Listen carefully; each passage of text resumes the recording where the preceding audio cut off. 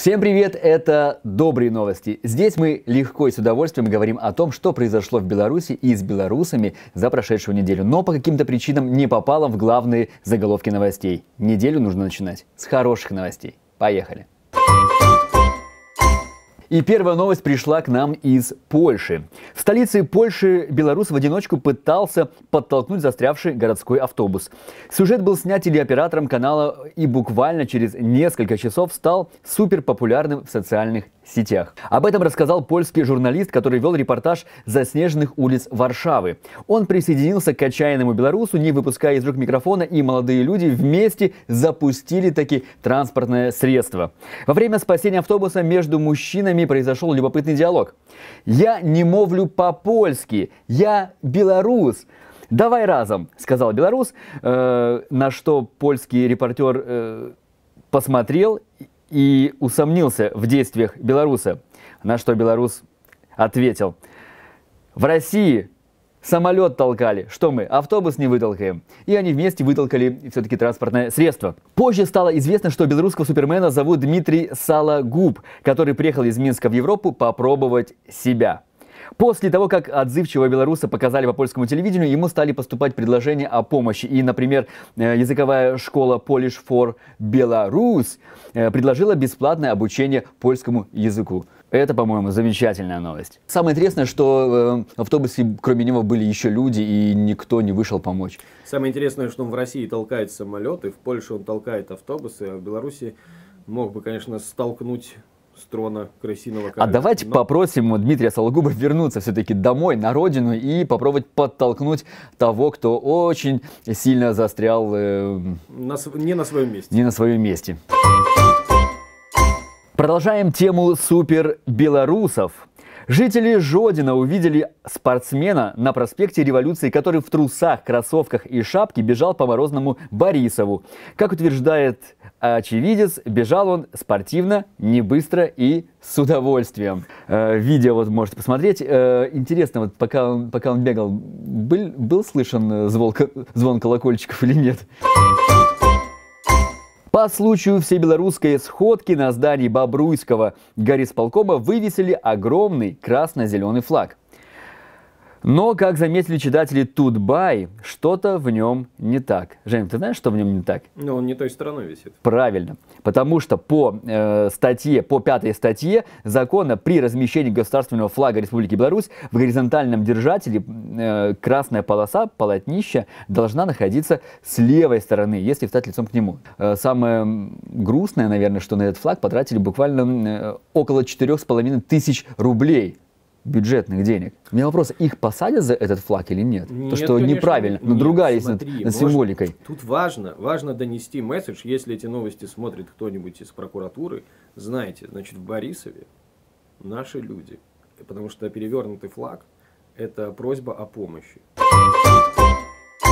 Минчанка, вернувшись из Италии, после долгосрочной волонтерской программы пытается открыть в столице вермикомпостер – Простым языком кафе для червей. Вермикомпост – это удобрение, которое делают дождевые черви из органических отходов. То есть она была в Италии, э, волонтерила по экопрограмме. И э, в Европе это уже модно, когда э, рядом с, мус с мусорными контейнерами там складывают бумага, стекло, бытовые отходы, ставят еще э, для компоста. Вермикомпосты, да, вермикомпосты. Это для биоотходов. Потому что они, когда, когда э, гниют, истощают очень вредные газы. В Ворше правоохранители задержали на улице 18-летнего парня с ведром на свая. По-моему, есть э, древняя белорусская примета, что если ты идешь по улице с ведром на свая, это к беде. Рубрика «Шедевры белорусского креатива». В центре Бреста появилась инсталляция по случаю Дня всех влюбленных. Мэр Бреста прокомментировал так. Даже в такие холодные дни хочется тепла и улыбок. Мороз, снег и ветер не помешали установить праздничную инсталляцию в виде сердца на перекрестке бульвара Космонавтов и проспекта Машерова. По-моему, получилась неплохая фотозона. А как вам, спрашивает мэр? Э, мне все нравится, особенно то, что она находится под баннером э, Макдака и одобрена экспертами, написано под наггетсами. Поэтому, если у вас есть э, ваши любимые, приходите, Езжайте присаживайтесь за, на, на стулья и фотографируйтесь. В Федьковичах на пешеходном переходе прямо на глазах у инспекторов ГАИ не устоял на ногах нетрезвый местный житель и с лопатой в руках переползал дорогу. Как выяснилось, мужчина неподалеку расчищал снег, затем, чтобы согреться, употребил спиртное, но немного переборщил. Э, белорусский Донателло в целости и сохранности доставлен домой. Если ты пьяный с лопатой падаешь на дорогу, то это не считается перекрытием трассы. Да. И не попадаешь под статью. А если ты трезво это делаешь, просто переходишь даже по пешеходному переходу э, в неугодных цветах одежда у тебя, то ты можешь сесть. Ну, в данном случае цвет угодный, синий. Пинчанка Маргарита шла на день рождения к внуку. Это очень грустная история, но с хорошим концом. Э, торт купила заранее, а сок решила купить в магазине по соседству с западным микрорайоном. А, выйдя из магазина, счастливая бабушка направилась на праздник внука. Примерно через 4-5 метров от входа подскользнулась на льду, поцарапала руку и торт в смятку. Э, расстроившись, женщина вернулась в магазин, где покупала сок и рассказала свою грустную историю. Добрый администратор посоветовался с заведующим магазина, и они решили подарить э, женщине новый торт, хотя Э, прежний был куплен совсем в другом магазине, чтобы не испортить внуку праздник. Вот это поступок настоящих правильных белорусов, я считаю. В реестр опасной продукции, запрещенной к ввозу и обращению на территории Беларуси, попала детская раскраска российского производства. Спасатели МЧС называется. Раскраска серии «Спецназ». Вот вы можете увидеть картинку. Официально Официально. Эта продукция опасна своей некачественной и слишком тонкой бумагой. Угу. И не, не совсем из-за... Шлемов? Шлемов, да, да, нет, нет, нет. Это только причина в бумаге. Как сказала одна умная женщина, дебилы.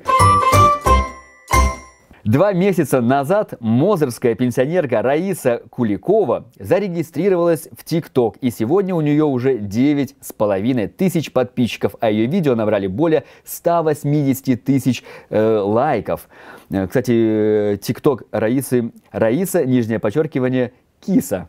На виду у тысяч подписчиков Раиса Павловна поет, танцует, ходит по магазинам, готовит блюда, встречаясь с подружками и называет себя Барби на пенсии. И обещает, что как только наберет 100 тысяч подписчиков, обязательно поедет в Дубай. Это замечательная новость, поэтому если вы найдете Раису в ТикТоке, если вы там случайно зарегистрированы, обязательно подпишитесь на Раису. Давайте сделаем так, чтобы к лету э, все-таки Раиса побывала в Дубае и сняла бы еще несколько десятков новых роликов. 14-летний школьник из Мостовского района создал копию Гальшанского замка в Майнкрафт. На виртуальную реконструкцию замка Андрей потратил 16 часов. По словам 14-летнего 14-летнего Андрея, э, на такое увлекательное хобби подтолкнул его школьный предмет «История Беларуси». На сегодняшний день на счету Андрея уже построено несколько гродненских костелов, в том числе и Фарны, Большая хоральная э, синагога, здание Гродненского облисполкома и горы исполкома. Сложные слова, мне как литовцу очень сложно их выговаривать. У нас все просто. Здание, э, министерство, все. Э, вместе с площадью Ленина, а еще Лицкий замок и улица Карла Маркса в областном центре. По-моему, это очень хорошее хобби, когда совмещают какие-то, как многим кажется, бестолковые действия, игры и просто просиживание времени впустую на такое хорошее и приятное дело. В Гродно с начала февраля молодая мама Анастасия, недавно вышедшая из декрета, начала развешивать в центре города пакеты, в каждом из которых лежат продукты и кусок мыла. На каждый пакет девушка прикрепляет записку, где написано, что продуктовым набором могут воспользоваться те, кому сейчас нужна помощь. По словам Анастасии, фильм «Ночлежка» российского жур- журналиста Ильи Варламова вдохновил ее помогать нуждающимся. Вот Анастасия, по-моему, очень хороший, добрый человек. Побольше бы таких людей, которые помогали бы другим белорусам э, в трудное время. Сейчас многим нелегко, э, хоть чем-то, хоть э, просто прогулками или, или какими-то добрыми фразами. Поэтому, Анастасия, держитесь, мы с вами. В этом году в Минске как никогда наблюдается огромное количество снегирей. Специалисты утверждают, что это из-за суровой зимы. А мне хочется верить, что из-за их прекрасного раскраса и что они тоже не безразличны к всему тому, что происходит в Беларуси, вышли на улицы, а точнее прилетели на улицы больших городов. На этом все. Это были добрые новости. Подписывайтесь на канал, ставьте лайки, пишите комментарии присылайте свои добрые новости, если у вас какие-то есть. Э, описание и почта, куда нужно слать, все внизу. Это был Андрей Марков и добрые новости. До следующего понедельника. Пока.